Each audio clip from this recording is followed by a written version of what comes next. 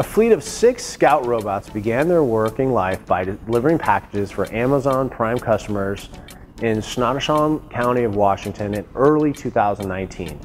The robots continue to operate throughout the coronavirus pandemic.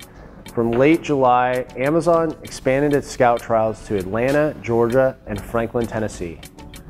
Hotels are adapting for the same technology. Aethon robots deliver food, room supplies, or any other guest requests. For the back of the house, they provide critical logistics support to enable social distancing efforts without interrupting operations. Believe it or not, this is not new. Robots have been used for manufacturing and business operations for decades. In the year 2020, an estimated 1.64 million industrial robots were in operation worldwide, according to the International Federation of Robotics. The pandemic rushed the progress of robotics simply because we realized the value of human life more. Sure, we need to make sure the economy keeps moving. We need orders delivered, services rendered, and demands need to be met. But we now know they should never be the expense of human life. And robots make it possible. As robots become more advanced and become capable of performing automated tasks, not only are we able to keep humans away from risk, we enable ourselves to perform higher quality tasks. Why are we talking about robots today?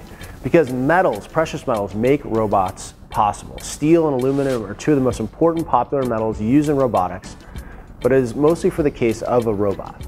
The central processing unit uses gold, silver, platinum, and palladium. Robots for more complicated tasks also use other precious metals. Silver is still the number one option when it comes to the energy supply. Gold is used in central processing systems to make data management more stable. Even the latest developments in robotics use precious metals. Platinum is being combined with burnt paper to create new flexible material. And this is just a few examples of how metals power up robotics. Robots can perform tasks that prevent human life from being at risk.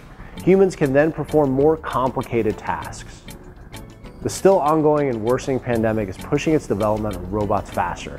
This spells another industry that will demand more metal.